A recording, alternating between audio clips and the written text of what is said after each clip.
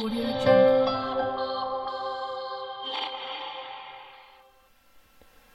Alright, to make a long story short, the other day me and my roommate were looking for a quick way to play Kodi through uh, streaming Kodi through a, a Chromecast device on a TV, and we were looking on uh, on uh, YouTube and we couldn't really find any good videos.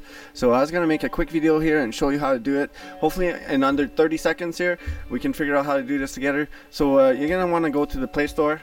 So we're gonna go to the Play Store, and you're gonna want to look for an app called LocalCast.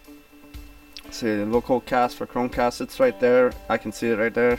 So I'm gonna click on that, and right that right there, LocalCast for Chromecast and you're gonna want to install this and then once this is installed we're gonna be able to stream Kodi right onto the TV uh, it's real simple to do real easy uh, we're gonna go ahead and do this right now alright so it's almost done installing once it's done installing we just gotta open it up and we gotta do a couple things. Uh, you used to have to do this uh, manually to like go into the folders and like paste a bunch of stuff but you don't have to do this anymore. You just you click allow and then okay. And we're to open this folder up here and we're to scroll down a little bit.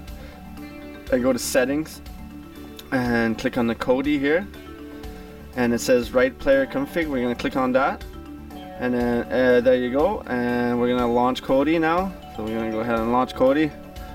okay Kodi has been launched we're to go to our apps or add-ons I mean and I'm to launch Exodus and let's look for a movie whoops uh, Let's look for a movie we can play here. Uh, new movies.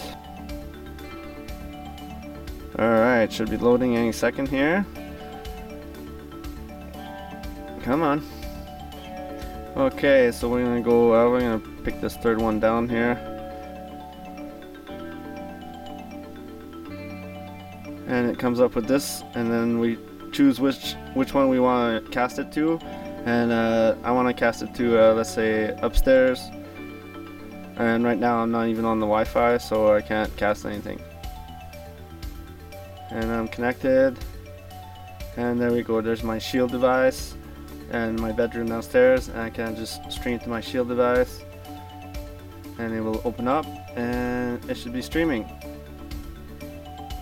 and then oh you just hit play There you go. Now it's streaming to my shield device upstairs. And we're done. It's playing.